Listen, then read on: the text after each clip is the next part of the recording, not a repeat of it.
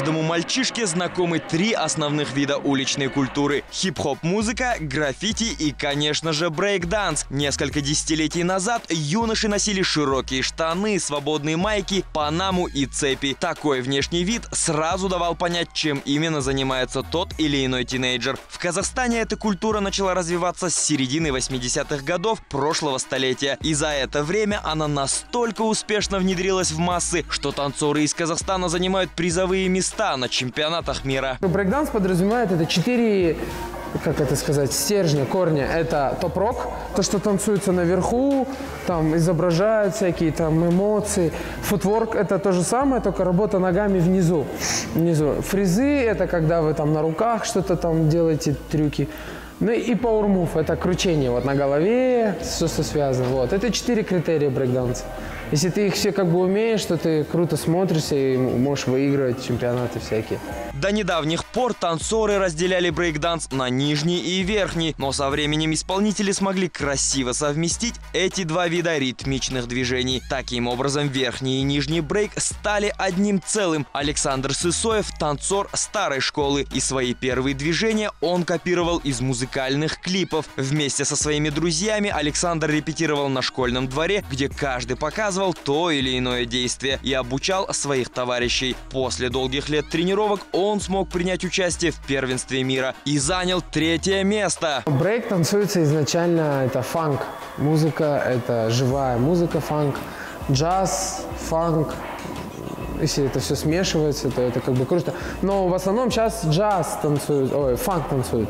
А, брейкбит, э, ну это такое старое, когда такие колотежки были, но это старое уже. Сейчас в основном фанк. Казахстане на сегодняшний день лидируют две танцевальные команды. Это Simple System из Астаны и коллектив с юга «Ну погоди». Они представляют нашу страну на чемпионатах мира и считаются фаворитами соревнований. Но все эти кубки, медали и поездки за границу даются не просто так. Это результат кропотливого труда. Также танцы учат человека не только пластике и зрелищным движениям, но и воспитывают характер исполнителя. Кроме того, занятия танцами могут сильно изменить жизнь, начиная от стиля одежды и заканчивая выбором профессии. Ну, как чувствуешь себя? Мне нравится, например, более свободно, да, там, кому-то нравится более обтягивающий, там, как сейчас мода пошла, там, зауженные, там, низа, там, чтобы обтягивали ноги. Ну, как бы, нет, я считаю, что у каждого свой стиль в брейкдансе, не только в танце, но и в одежде. То есть, как себя чувствует, если ему нравится кепку одеть, он себя чувствует круто, то он будет ее одевать, там, также одежда, майка широкая, но мне нравится более широкая. Изначально корни брейкданса это широкие штаны, там, там круто, чтобы... Ну и движение, наверное, смотрится как-то, не знаю, красивее, мне кажется, нежели в широких, чем в узких.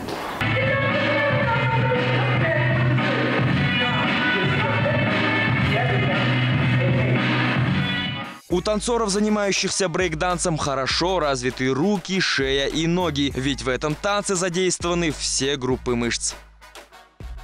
Меня сюда на брейкданс привел брат. Мне больше всего в брейкдансе нравятся фризы. Это стойки на, на руках. Брейкданс это для всех, для девочек и для мальчиков.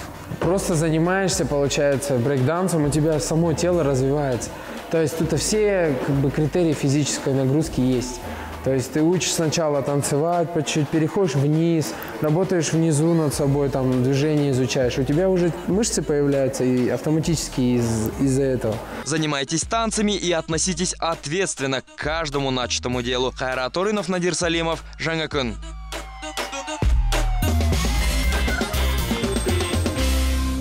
Доброе утро, друзья! Программа «Жангакун» продолжается.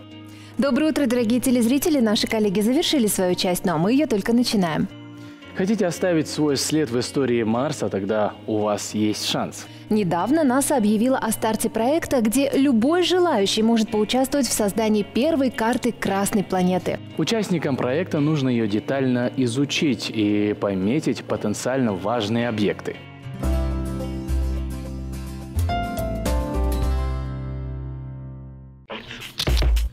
Внешний топливный бак американского космического корабля многоразового использования доставлен в музей Калифорнийского научного центра в Лос-Анджелесе. Помещенный на гигантскую платформу топливный бак был доставлен в музей с помощью нескольких грузовиков. На всем 25-километровом отрезке дороги, по которой везли габаритный груз, пришлось снять провода линии электропередач и демонтировать фонари уличного освещения.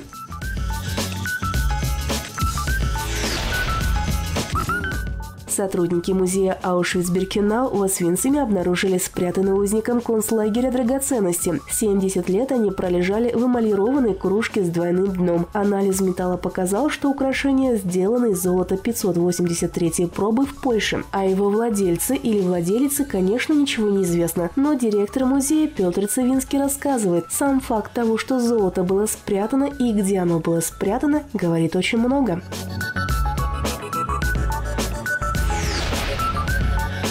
Детеныш режиссерова Валаби в зоопарке Далласа сам выбрал себе имя, съев один из двух тортов с возможными вариантами. Специально для этого сотрудники сделали два торта из специального корма, арахисового масла и дыни. На одном была буква «Б», назначала имя Бурнум, на другом «П» в честь города Куберпеди на юге Австралии. Немного подумав, десятимесячный детеныш начал поедать второй вариант и стал гордым обладателем имени Педи. Владелица сухопутной черепахи из Нью-Йорка решила найти человека, который смог бы выгуливать ее питомца, пока она сама на работе. Она была потрясена, когда с просьбой взять их на эту работу ей позвонили сотни желающих. Черепаха уже стала местной знаменитостью. За ее приключениями даже можно следить в социальных сетях.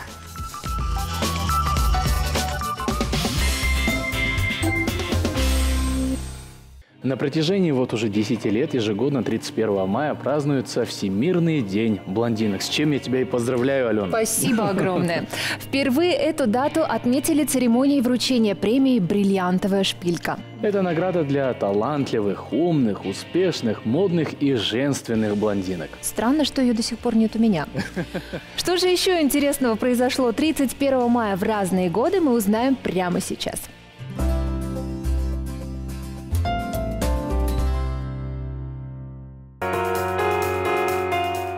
75 лет назад в Германии готический шрифт заменен на латинский. 31 мая в 1891 году близ Владивостока была торжественно заложена Транссибирская магистраль. 132 года назад американский врач Джон Харви Келлок запатентовал кукурузные хлопья. 137 лет назад в этот день в Берлине открылась первая в мире электрическая железная дорога. В 1868 году, 31 мая, в парке парижского пригорода Сен-Клу прошла первая велогонка на 2000 метров. Это событие принято считать датой рождения велоспорта. 157 лет назад в этот день были запущены в работу часы, установленные на знаменитой лондонской башне Биг Бен. В этот день, в 1815 году, провозглашено создание Нидерландского королевства. 31 мая три года назад в Таразе завершился региональный конкурс «Выставка Алтен Сапа», в котором приняли участие около 60 предпринимателей области. Пять лет назад в Стамбуле открылась фотовыставка о Казахстане, посвященная 20-летию независимости и установлению казахстанско-турецких отношений. Студии программы Жанга Кун, генеральный директор языкового центра Ауэль Ержан, который расскажет о летних курсах для школьников и студентов. Доброе утро, Ауэль. Доброе утро, Ауэль. Доброе утро. А, скажите, какие курсы для школьников и студентов существуют сегодня? Ну, на данный момент вообще э, является, получается, очень множество, множество различные курсы. Есть даже курсы массажа, курсы, значит, mm-hmm. курсы ИЗО, то есть изобретательное искусство, рисование, курсы IT, сейчас очень популярно, программирование, значит, дизайнерские курсы и так далее.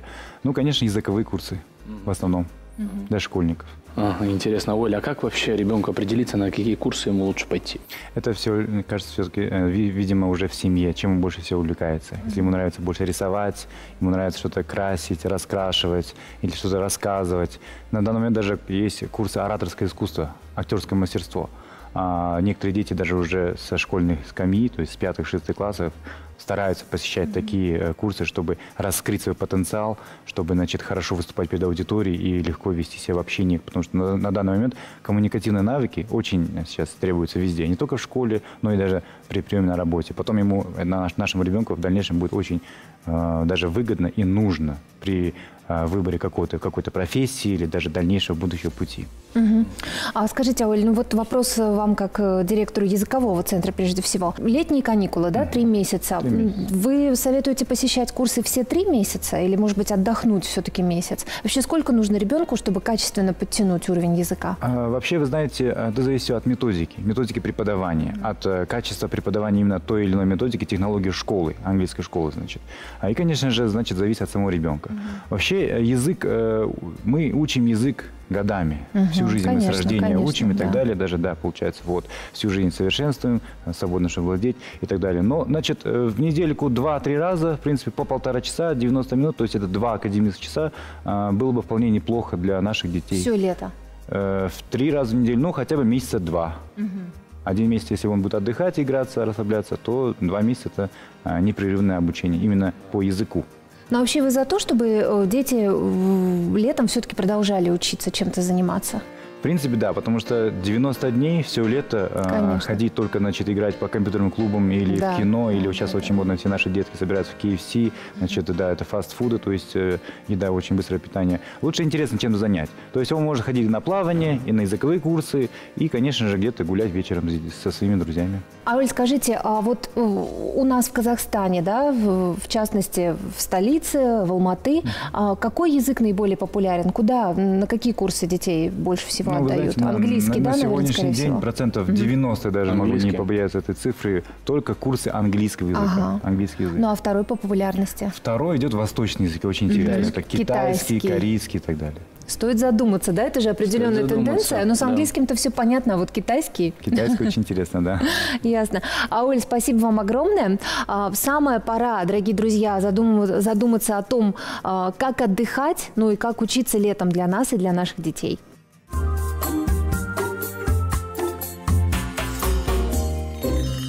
Доброе утро, меня зовут Максим Спариш. А, сегодня мы с вами рассмотрим некоторые фотографии, которые прислали пользователи Инстаграма. А, я расскажу как эти фотографии можно было бы сделать эффектнее, интереснее и красивее. Приступим. Первый кадр, что мы здесь видим? Мы здесь видим, получается, снимок, видимо, с какого-то базара. А, с рынка, то есть какие-то специи. Что мне в этом кадре нравится? Нравится то, что а, здесь, получается, нету ничего лишнего. По-моему, здесь это был а, намек на ритм на фотографии. Вот, видимо, это хотел а, именно это передать автор, вот, но я бы сделал немножко по-другому. А, я бы камеру опустил бы немножко ниже, сбоку. Таким образом, у нас бы получалось, что вот эти а, специи, они бы вот уходили вдаль. Вот, и был бы уже, получается, ритм именно на фотографии. Это смотрелось бы, по-моему, эффектнее. А чем мне вот именно эта фотография понравилась?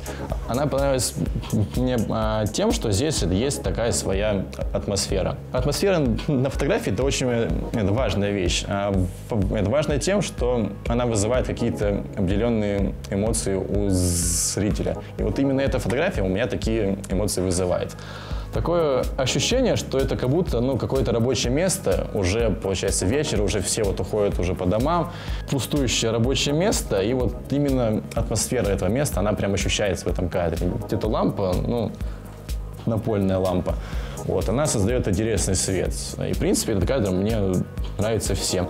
За исключением композиции. Наверное, я бы лучше его слегка сместил вот в эту сторону, отрезал бы этот а, диспенсер, вот, и сделал бы немножко вот так. Следующий снимок. А вот этот, это, кстати, очень хороший кадр. Хороший а, он тем, что здесь, ну, чувствуется стиль а, минимализма. Вот. А, а, в принципе, для этого стиля очень хорошо это подошел бы именно квадратный формат, а, то есть у нас он получается здесь, видимо, 3 на 4 соотношение этого кадра.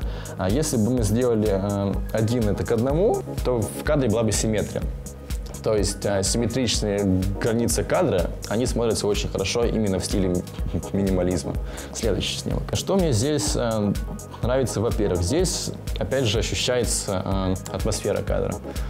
Вот здесь мы видим, что это уже закат, тут какой-то корабль, получается, проезжает. Вот. То есть здесь ощущается такая прям вот атмосфера, что мы возле реки, или может это какое-то озеро или море, даже не знаю. А что важно, когда мы снимаем силуэты? А важно, чтобы они не соприкасались с какими-то другими частями кадра. То есть, например, здесь у нас это, получается корабль, он немножко прикасается к линии а, деревьев. Вот. И таким образом они так, ну, немножко сливаются. Это смотрится не очень. Вот если бы он был немножко ниже, получается, э, автор бы, если бы это собрался бы повыше, вот, тогда бы это смотрелось эффектнее. Следующий кадр. Хороший в этом кадре, наверное, только то, что здесь интересная погода. Вот, и, в принципе, все по композиции. Здесь, если честно, мне не очень это понравилось, именно потому что в нижней а, части кадра здесь какая-то каша. Вот здесь, получается, заборы, деревья, какое-то здание. Это все это перемешано у нас. Это смотрится не очень на фотографии. И плюс ужасные вот эти провода. Это было бы лучше, если бы их здесь а, не было. Их это можно было или там на фотошопе замазать, или просто чуть отойти вправо. Следующий кадр. А что здесь это мне понравилось? Понравилось мне здесь, наверное, ничего. Потому что на фотографии снова все перемешано. Все перемешано. Здесь нету, в принципе, никакой ни, ни композиции, ничего. Но это хороший, как получается, это репортажный снимок. Ну, то есть мы а, показываем, что мы, что мы, получается, были на этом мероприятии. Вот и все. Следующий кадр. Если честно, мне вот именно вот эта фотография мне понравилось это больше всего. Тут, в принципе, даже, даже нечего комментировать. На фотографии мне, получается, понравились именно вот эти линии в кадре, э, потому что именно по этим линиям у нас э, идет э, внимание человеческого глаза. Вот. А плюс здесь очень хорошая палитра. Вот, такой синий фон, и на этом синем фоне очень хорошо это выделяются контрастом именно вот эти листья и вот стаканчик с Морсом. Плюс еще многие фотографы, то есть это тоже так интересно смотрится, то есть уже какая-то создается атмосфера кадра. То есть этот кадр самый лучший. Я, в принципе, здесь даже нечего критиковать. Если вы хотите, чтобы в следующем выпуске я оценил именно ваши фотографии, то публикуйте их в Инстаграм под хэштегом ЖенаКун2. Удачных вам кадров, до новых встреч!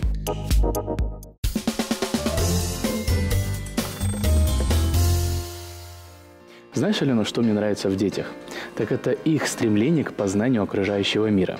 Ты прав, мы, взрослые, к сожалению, со временем теряем к этому интерес. А еще забавнее то, как это все они описывают. Друзья, вашему вниманию наши балапанчики.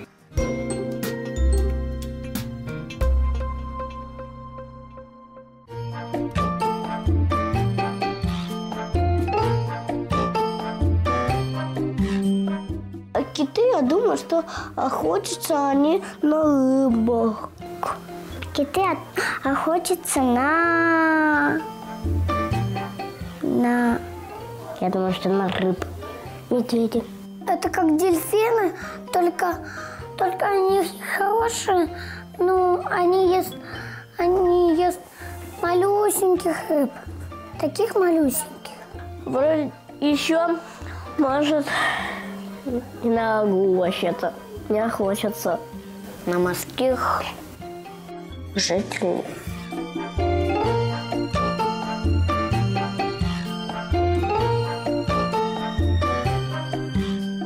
Они качественно обладают друзья дружбой, я так думаю.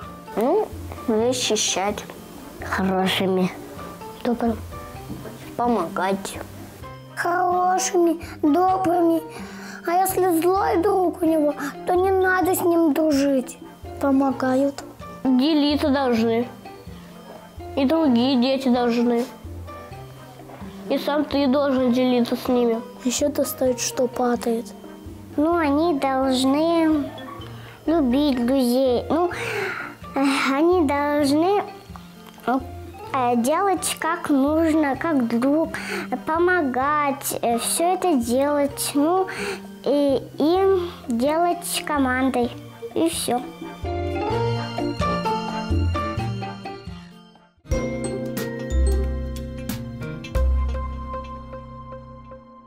Диляра Байжанисова, Беруни Назруллаев. Актеры, исполнители главных ролей в фильме «Моя чужая». Доброе утро, Диляра, Беруни. Спасибо, Доброе что вы к утро. нам пришли. А, насколько мы знаем, вы абсолютные новички в кино. Как, как вы пришли в кино, тем более сразу с полного метра начали? Ну да, это как-то очень... Всем бы такая- такой старт. На самом деле все получилось спонтанно. По крайней мере, я вообще не планировала и даже не думала в один из вечер обсуждения кино. Как раз режиссер приехал и обсуждали, как это все будет, что и вдруг, вообще ни с того ни с сего, предложение. А может быть, ты вообще сама сыграешь это все дело? Э, Ну и в итоге мы договорились на том, что я прохожу курсы, я учусь, и потом мы делаем пробы. А, то есть это не с бухты-барахты, все-таки вы как-то готовились, да, к Да, этому? конечно, Мгм. мы готовились. И я готовилась в течение трех месяцев, даже Мгм, больше. мгм. И уже потом, во время съемок, нас постоянно тоже, то есть э, подходила, мучила режиссера, что, Мгм. как, зачем, Мгм. кто она, почему она так отреагировала. Ну, в общем, где-то вот так у нас все происходило. Спонтанно, быстро, но очень интересно. Мгм. Беруни, а вы? Как получилось? Ну, Асхат Садрабай мне позвонил, сказал то, что пришел режиссер, на пробы позвал. Мгм. Я пошел, и вот прошел. Вот так вот все просто. Давайте немножко расскажем на нашим зрителям. Премьера фильма а, уже состоялась «Моя чужая». Тем более нам эта тема с Достеном почему близка, потому что а, в этом фильме снялись наши коллеги, наши знаменитые актеры, которые тоже являются ведущими программы «Жана Кун». Да, Это Гульнара Досматова и Жан. Байжанбаев. Как вам с ними работалось? Они же такие уже матерые актеры. Как раз таки вот с матерыми актерами, мне кажется, легче, потому Ну, что конечно. они дают а, обстановку. То есть ты абсолютно им веришь, следовательно, ты доверяешь всему, что происходит, и ты начинаешь верить в ситуацию, и, следовательно, все получается очень легко и просто. Друзья, а что было для вас самое сложное во время съемок? Ну, много всего, потому что все новое, все сложное. А, запоминающийся момент у меня был, вот, допустим, Какие опыт с моменты были? лошадьми. С То есть, лошадьми? да, у нас был, а, была сцена на Чарыне, Мгм. то есть а, и лошади. Вы, при- вы представляете, как, как- какая там поверхность, и бедные лошади шатаются, а ты должен на них удержаться. При том, что ты не ездишь верхом, и это все-таки было. И сколько дублей было? Дублей было очень много. Я помню, Беру не стояла, но она постоянно ходит по мне. Лошадь даже по мне ходила. Да? Да, так, там сценка есть такая, то, что мы на закате, да, стояли, должны были стоять и идти с лошадьми еще. Да, еще сложность того, что это... Она то еще есть закат очень, лошадей. очень быстрая штука. То есть Да, это буквально да, да, да. две секунды и, и заканчивается. А я боюсь, я не могу стоять рядом. Режиссер говорит, надо, стой, сейчас пропустим момент, стой.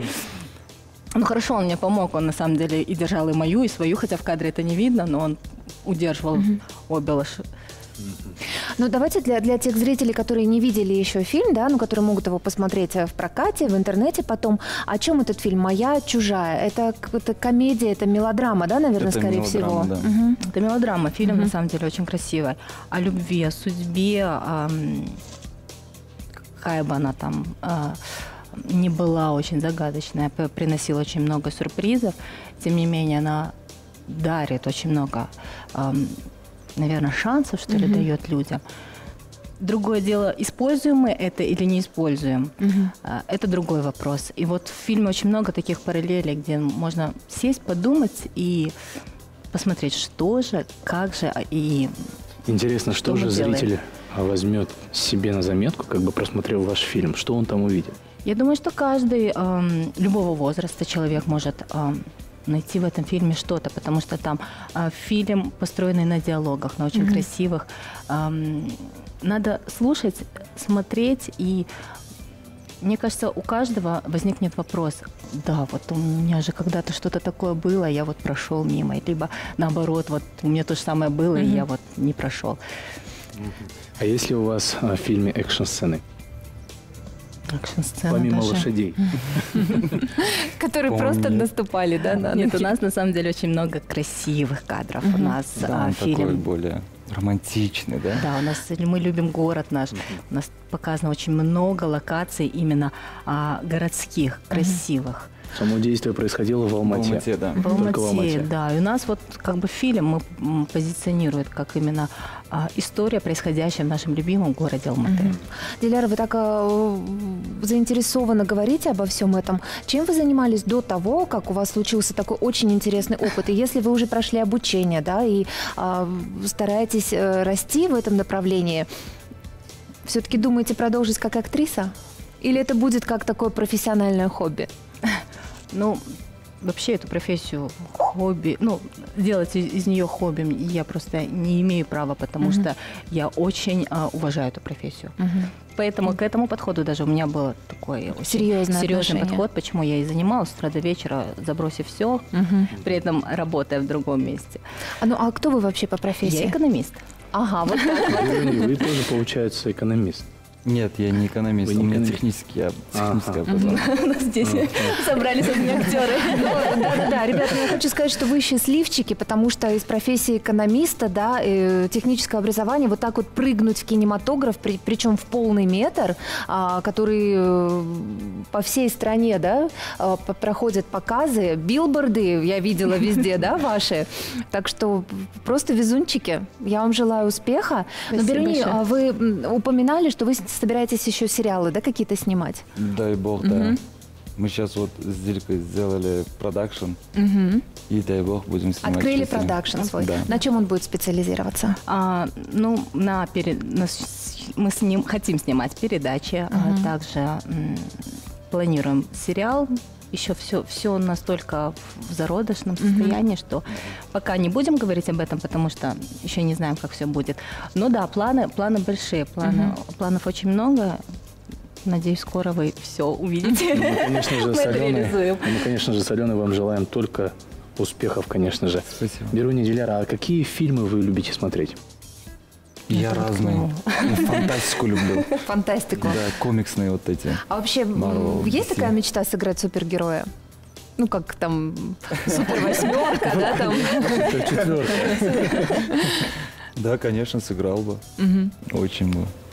Хочу. Но вы готовы, как Диляра? Вот Диляра три месяца училась актерскому мастерству. А супергерой это, это значит стальные мышцы, там, не знаю, подкачаться. С удовольствием.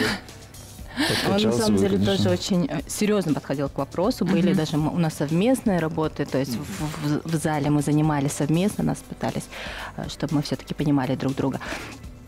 Подготовительный, Выкладывать, выкладывайте просто. ага, подготовительный период у вас, э, у вас было три месяца, да, получается? Да. Готовились три месяца. Да, три проекту. месяца, да. Мгм, Довольно-таки очень хороший срок. Вот я сижу тут э, с, актерами, ко- которые не являются профессиональными, но добились успеха. Чувствую себя как-то даже немножечко чужой. Нет. Тоже попробоваться, что ли? Если что, зовите нас на эпизодические роли. Ну, меня, по крайней мере, до стены можно на главную. У нас уже суперпрофессионал. А, Диляра Беруни, у нас существует прекрасная традиция. Все наши гости а, в нашей утренней программе э, дают нашим телезрителям определенный настрой от себя. Так что просим сейчас об этом и вас. Что я хочу пожелать нашим телезрителям, это, конечно же, а, доброго утра ежедневно, а, света, а, тепла вашему, вашему дому. Ну и всего хорошего. А мы постараемся радовать вас. Желаю позитива каждый день, чтобы не унывали, чтобы у вас все было отлично. Ну что ж, друзья, вот такие у нас сегодня прекрасные гости, позитивные, красивые, молодые. Пусть ваш день э, пройдет под знаком удачи, тепла и всего самого хорошего. Отличного дня, друзья.